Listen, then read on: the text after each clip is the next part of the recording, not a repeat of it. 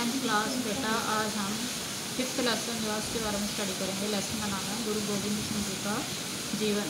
गुरु गोविंद सिंह जी की, जी के राजसी चिन्हों जो हैं, उनका वर्णन करो। राजसी चिन्ह कौन से थे उनके?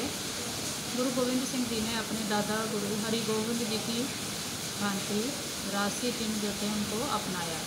वे राजगति पर सबसे ऊँचे सिंहासन पर विराजमान होते थे और अपनी पगड़ी पर कलगी सजाते थे। वे साहसी सिखों के साथ साथ अपने पास हाथी तथा घोड़े भी रखते थे। वे अनंतपुर के जंगलों में शिकार खेलने जाते थे। इस तरह से उनके ये राजसी चिन्ह थे। तो अगला क्वेश्चन है, खालसा के नियमों का वर्णन करो। खालसा के कौन से नियम हैं? खालसा की स्थापना सोलह सौ नड़िन्नवे में गुरु गोविंद सिंह जी ने की। जिसके नियम इस प्रकार हैं। सबसे पहले है कि प्रत्येक खालसा अपने नाम के साथ सिंह शब्द लगाएगा और प्रत्येक स्त्री अपने नाम के साथ कोर शब्द लगाएगी। खालसा में प्रवेश से पूर्व प्रत्येक व्यक्ति को कंडे के फौल का सेवन करना पड़ेगा। तभी वह स्वयं को खालसा कहलाएगा।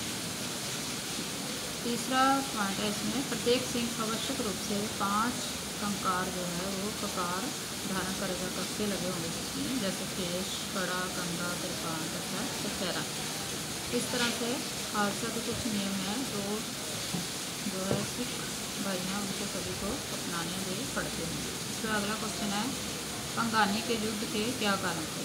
पंगानी की लड़ाई कहाँ पर हुई? सोलह सौ अठासी ईस्वी में पहाड़ी राजाओं तथा गुरु गोविंद राय जी के बीच में हुई। इसके कारण क्या थे? पहाड़ी युद्ध के कारण क्या थे? सबसे पहला है पहाड़ी राजा गुरु गोविंद राय जी की सैनिक गतिविधियों को अपने लिए खतरा समझते थे, इसलिए उन्होंने युद्ध करने शुरू कर दिया। उसके बाद सेकंड पॉइंट है, गुरु जी मूर्ति पूजा के विरोधी थे, परंतु पहाड़ी राजा मूर्ति पूजा में विश्वास करते थे।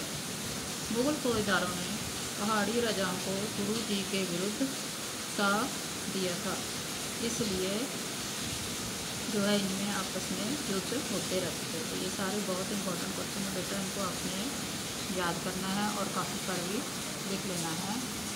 अगर कोई आपको प्रॉब्लम आए किसी भी तरह की तो आपने उनसे पूछ लेना। है धन्यवाद।